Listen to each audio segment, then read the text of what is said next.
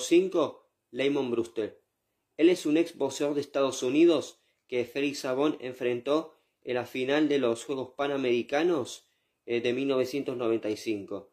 Eh, le ganó a Brewster por nocaut técnico en el segundo asalto para ganar el oro en esos Juegos Panamericanos.